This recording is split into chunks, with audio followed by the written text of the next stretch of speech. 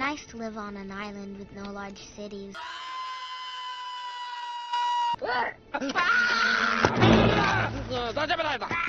Are you okay?